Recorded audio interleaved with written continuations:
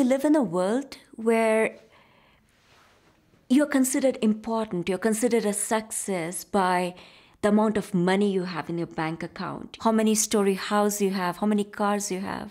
And what the Right Livelihood Award sends is a very important message, and especially to the future generations, to the children, that there is another way to be. El Right Livelihood Award ha tenido una prestigiosa historia. Este premio se otorga desde 1980. Más de 140 mujeres y hombres de 60 países diferentes han recibido este premio.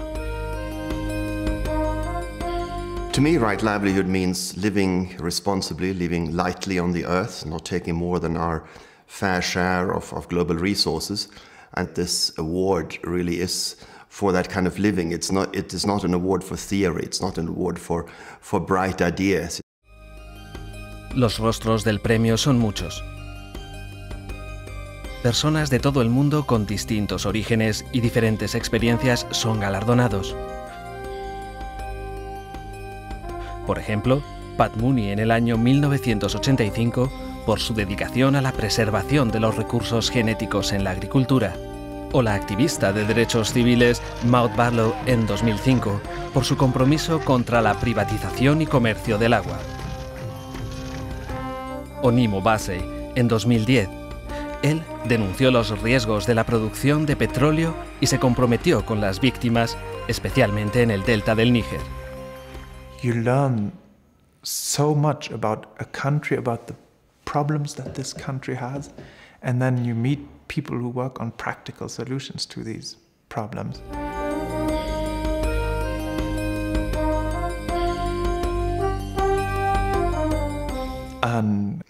sometimes you feel very small compared to the achievements of these people. El Right Livelihood Award rinde homenaje a las personas e iniciativas que han encontrado maneras y soluciones prácticas para una vida en paz y justicia, y para el uso equitativo y sostenible de los recursos globales. Los problemas urgentes de hoy en día requieren mayor atención. I got more and more interested in, in why solutions seem to exist, but were not being implemented, were not being carried out. And this gave me the idea to set up this award because uh, I realized that in order to be um, taken seriously, you know, you need recognition. El Right Livelihood Award es un premio para personas con visión que a pesar de ello tienen mucha oposición y no pocas veces viven un gran riesgo personal. El premio les da protección y abre nuevas oportunidades para el intercambio con los demás. We do exist to amplify and magnify the work and the experience of the award recipients. And so, really, media outreach is our number one concern. And um, uh, I'm really pleased that we are giving more attention to that than we used to in the past and really trying to exploit the new opportunities of information technology. El galardón tiene ahora una gran importancia y es reconocido en el mundo entero, lo que es una buena base para un trabajo exitoso.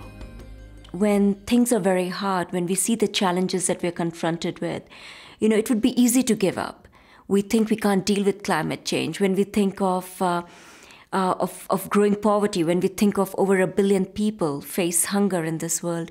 But when you look at these people who are receiving the award, or you see the efforts of organizations who, in the face of hardship, have chosen not to give up hope, you realize how can we ever give up hope? We know so much is possible.